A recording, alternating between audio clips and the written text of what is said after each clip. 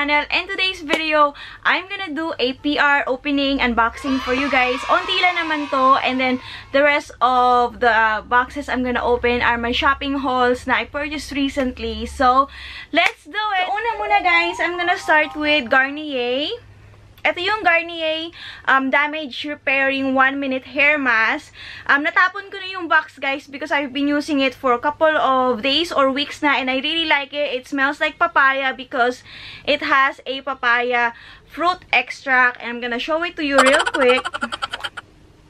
And I've been using, as you guys can see, I'm already halfway. And I really, really love it. It smells really good. Like, smells like super, like, papaya talaga siya. And it's very softening. And I just use it as a leave-on mask after I shower. I just put it sa ends ng hair ko. I've been doing that every day if I can para talaga yung mga damage part eh medyo maalis. So, thank you so much Garnier and Influencer for sending me this one. I really love it. Thank you so much. And then, next is, eto rin naman, influencer din to. This one is from Armani. Uh, Giorgio Armani. Actually, dalawa tong pinadala nila sa akin. They sent me a foundation. This is the new Giorgio Armani um, long wear, high wearing ano ba to? This is the Giorgio Armani Power Fabric Long Wearing High Cover Foundation and it has SPF 25. Medyo darker yung shade sa akin. I got the 5.5 um, na shade. Dapat uh, medyo mas lighter than that. Pero I still haven't used it. It's still in the box like this. I'm gonna show you guys how it looks like. So much Giorgio Armani and Influencer for sending this one.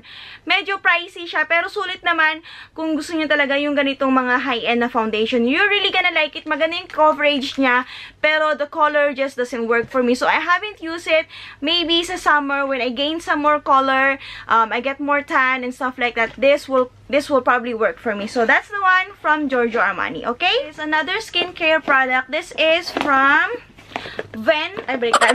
Ven Skincare. This is, I think, I believe this is a serum. I checked it, but I really um, never went through it pa. Ito yung Ven Anti-Aging Serum. Ito siya, anti-aging all-in-one concentrate. So, para siyang serum na parang, ano ba yun? Concentrate eh, yun ang sabi. So, all-in-one, reversing all signs of um, aging. So, ayan siya. Meron siyang leaflet na ganito. I down their website, guys, if you guys wanna check it out. And they sent me two packages of their serum or concentrate. Ayan siya. Ven Skincare And I'm gonna show you a swatch here.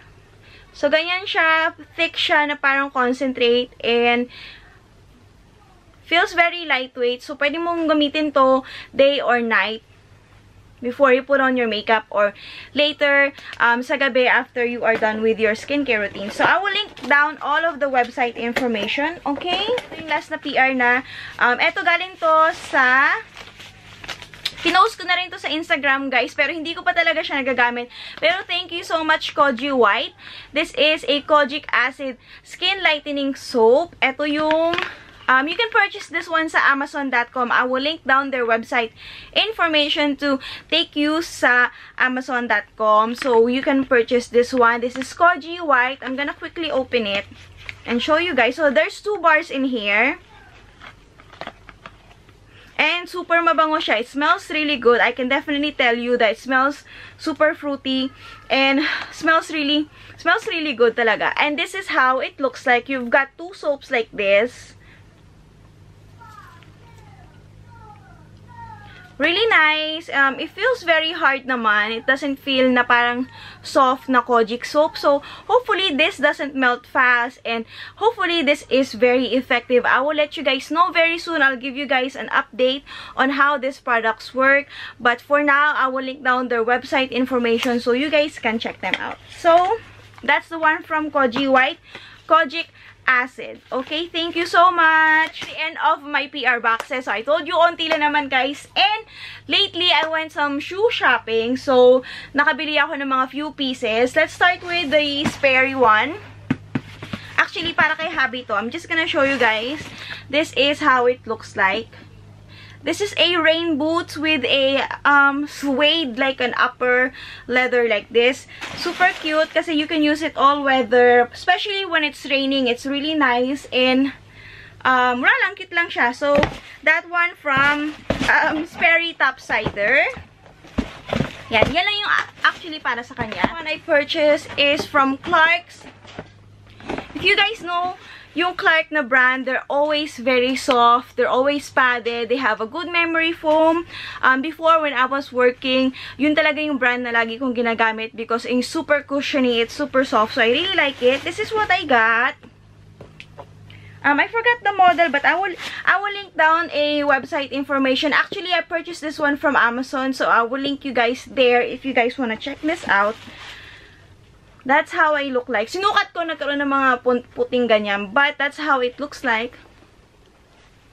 It's around 3 inches, but it doesn't feel super high kasi meron siyang padding dito na almost like 1 inch. So, it only feels like um, you're wearing a 2 inches na size. Ah, na heels.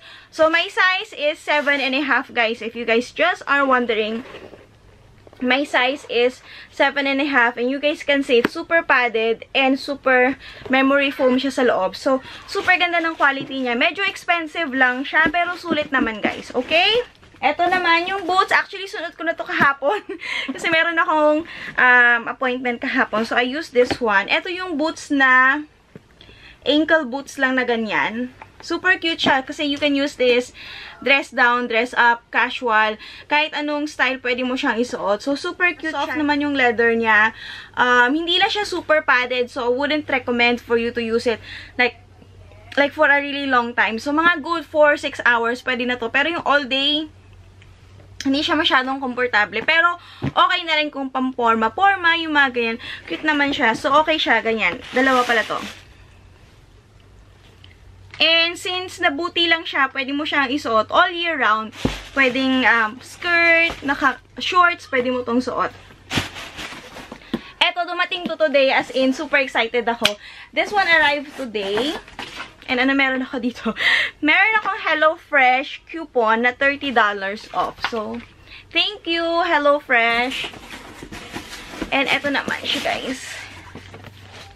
Ayan. Dito, um, Style and Co. to, yung um, brand na to. And I'm just gonna open it.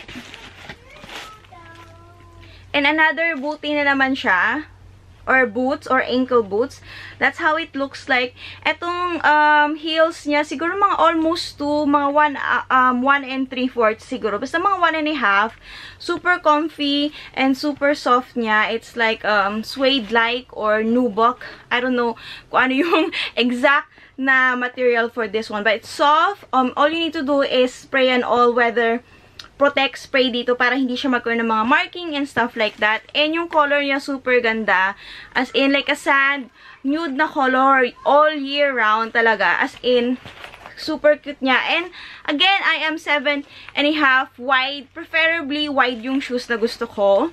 And it's super padded and it's super comfy. I'll show you the other one still fully wrapped like this. I think I'm gonna get the black one kasi super comfy niya. Ayan siya. Super nice. I really love the color. And yung design niya, pag kinose up mo, para siyang may butas-butas na ganyan. I, I don't know what exactly the style is, but I really like it. I really love it talaga. I'm really gonna use this um, summer, fall, all year round, maganda tong boots na to. Basta wag lang uulan, okay? Nakalimutan. Pumunta rin ako ng Victoria's Secret and um, I purchased some of their perfume. So, bumili muna ako ng bag. Bumili muna ako ng bag sa Victoria's Secret. This was promo to. So, instead of paying $58, I got this for $10 na lang. So, mura na siya. Tote lang siya na malaki. And then, inside, Pumunta rin kasi ako ng Bath and Body Works, guys. And, so, ito lang yung kinuha ko actually sa Victoria's Secret, guys. I got their uh, Victoria's Secret velvet petals. Ito yung velvet petals. Ang cute ng packaging niya. Super nice and super girly kasi may mga petally-petally siya. I think this is one of their newest perfume right now. Their newest scent. And I really like it. Smells really fresh. And medyo may pagka-vanilla ito. May pagka-vanilla. And then the other one is the Pure Seduction Water Blossom. One of their newest scent, I believe. And super fresh naman to. Parang um, shower fresh yung amoy niya. So, that's the only one I got from Victoria's Secret because I really wanted to buy the bag. Kasi super cute niya, ba diba? Super gold. And hindi natatanggal yung glitters niya. So, it stays like that. And it's super cute and it's super big also. And the next one, I went to Bath and Body Works to purchase their annual sale kasi pagka um, end of the year na, nagkakaroon sila ng sale. So, I purchased some of these, half of the price. So, una muna yung strawberry vanilla. And then yung sweet escape. And then another strawberry vanilla. Kasi mabango to guys. Um, parang, parang yung description niya talaga strawberry na and vanilla yung um, amoy niya. Super bango niya. Super fresh. And then cashmere glow. Actually, ito isa to sa mga old na fragrances nila. But I really love this one kasi may pagka-vanilla na um, just fresh lang. Ang bango niya. And then, ito yung Get Happy. Um, peach. Mabango yung amoy nito, guys. Kung naamoy niyo yung yung mga peach na mga perfume ng Victoria's Secret or Bath and Body Works. Super bango. Super bango neto guys. Ito yung peach na Get Happy White Peach Sangria. Super bango neto. Yung mga peachy na perfume ng Bath and Body Works and Victoria's Secret. Usually yun yung mga mabango and um, parang ano, nose friendly siya kasi hindi masyado matapang and all that.